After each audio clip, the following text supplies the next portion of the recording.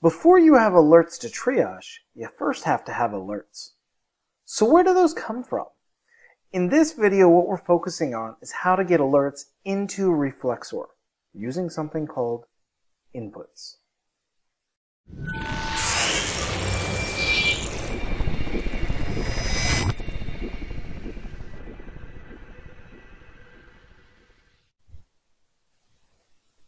So in ReflexSOAR, we use inputs to grab things outside of ReflexSOAR and bring them in. Now, for this video, I'm specifically going to talk about inputs in the form of reaching over and grabbing alerts and getting them into our alert queue. Like right now, what I'm looking at is a screen of Windows alerts, whether that's potential malicious PowerShell, maybe that's suspicious process execution, user activity, and that's fine. But I want to walk you through how I would bring in a new source of alerts, specifically Suricata IDS. So what I'm going to do is I'm first going to figure out what that data looks like outside of Reflex. In my instance, I have an OpenSearch cluster, think Elastic Stack, but it's the OpenSearch variant, that has alerts pre-captured in an index called logstash suricata. Now, inside of that, I could have had stats, flow data, and all sorts of things that are not actually alerts. So I am going to have to be a bit more specific, such as only show me things that have an event type of an alert. From there, I still need to figure out what data might be helpful for the analyst to see when they look at these alerts. So I'll have things, of course, like destination IP, destination port, source IP, source port, uh, maybe the category could be very helpful. And the actual rule that triggered that, that's actually surprisingly helpful. And then, of course, the rule name, which is this signature field.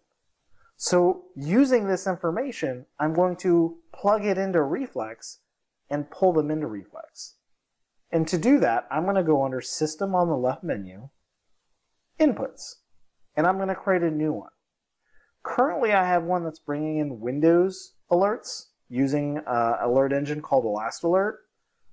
Don't want to deal with that. That's what you were looking at in the queue before. I'm going to create a new input. This is going to be my Suricata IDS alerts. Now, I can put a description, you know, these are the alerts from the lab systems. I can tag it with whatever I want. Here I just added a tag of lab.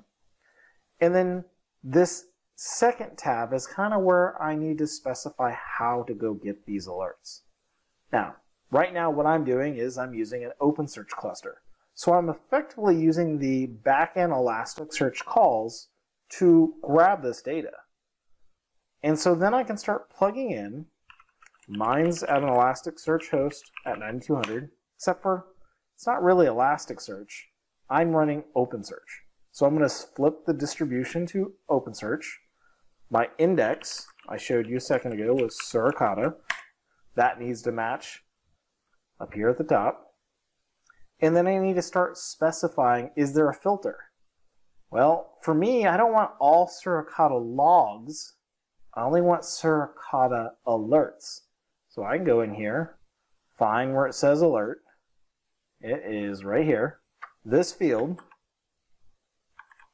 colon, alert. So that's going to limit it with the Lucene filter. I'm going to pull via HTTPS. I'm using authentication. My cert path, that is going to be a little bit different. This is what it this is where the CA, if you're doing certificate verification, you're gonna have to be pretty specific where yours at.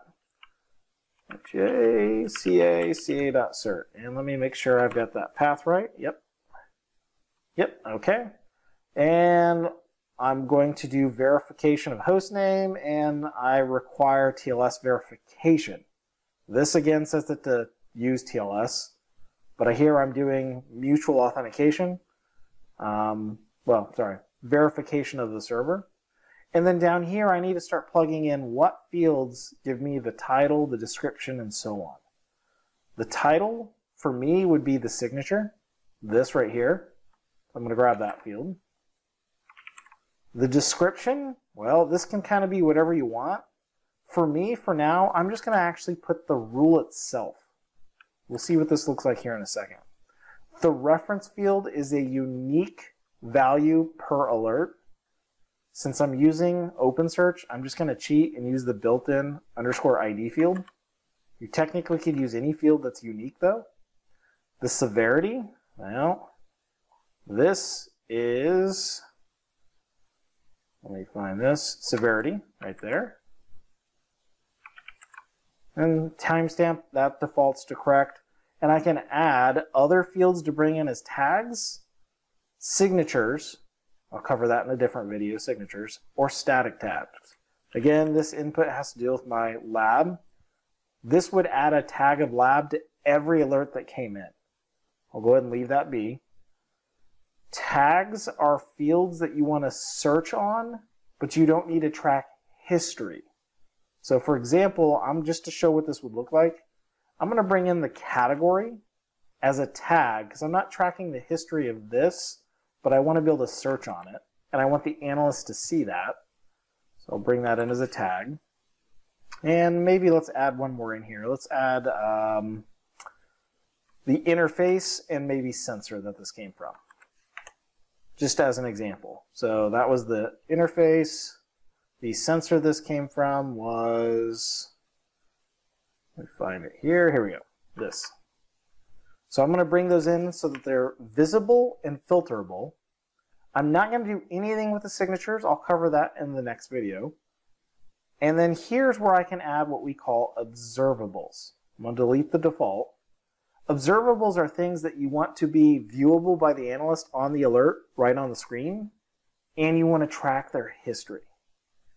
These typically are going to be on all alerts. So I'm going to do something like, I know I have a source.ip field. I'm just going to call that source IP. It's an IP data type. And I'm just going to tag it as the same because tags are actually searchable but in a different way. Let me bring that in. I'm going to do the same thing for source.port. I'm just going to fly through these here real quick. Source port. And let's also do destination IP and destination port. Destination.ip is my field. I'll alias it as underscore IP. Yep. Notice there's a bunch of different data types in here. This is an IP field. Destination IP. Now you might not want to track ports over time, so I could theoretically flip those to a tag, but for now I'm just going to add them here. Destination port, port, destination port. All right, save. So I've got four observables, I've got tags. One thing I forgot to do in here was set a credential. This would be, you create it first under the credentials on the left. That's the username and password or token to reach over to the source you're dealing with. I already have that saved. There we go. And there's the little review. Everything should be fine. I'm going to hit create. And if all is good, what we should see happen is in about 30 seconds, the agent I have running will pick up this new input. Now, actually, I need to assign it to my agents.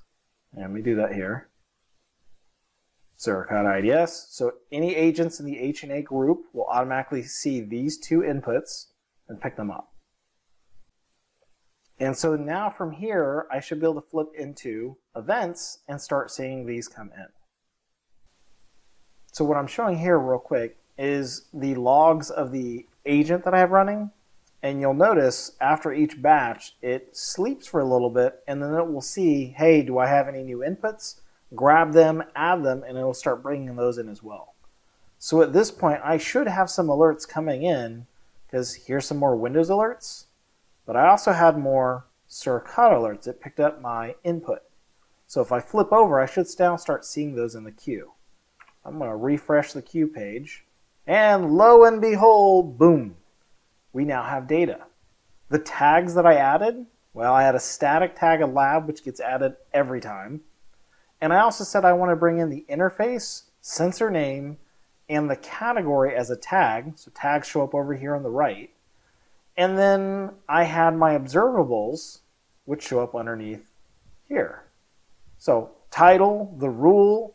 I can hit the view event and see the raw log still. Observables and tracking are found here. And so I have data now coming in. And at this point, our input is effectively tested. It's just not very efficient.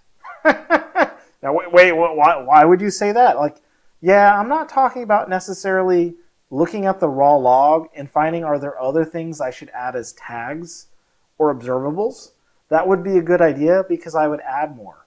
Because anything that's a tag shows up here, anything that's an observable shows up here, and so if it's not one of those, tag or observable, they're going to have to view event raw log to look at, well, where's the other field? Like the network direction, outbound. Oh, that would have been great to use.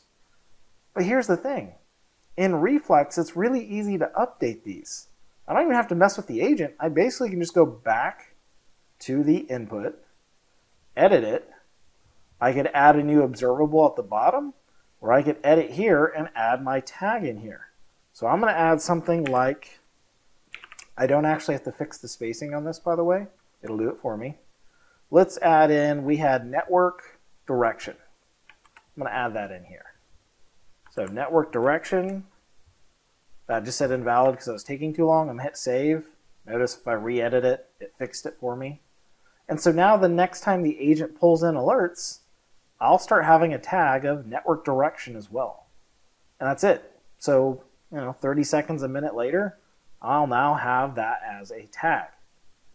So at this point, our input's more efficient. Yes, but it still has a lot of room for improvement. Notice these two right here. This is a great example. These two alerts came in, but they're dealing with the same destination IP, same destination port, same source IP, same source port, and ooh, a lot about these are the same, and yet it's two alerts on the screen. That's not efficient. So next, the next video we're going to talk about is we're going to come back and address something on the input called a signature hash. Stay tuned.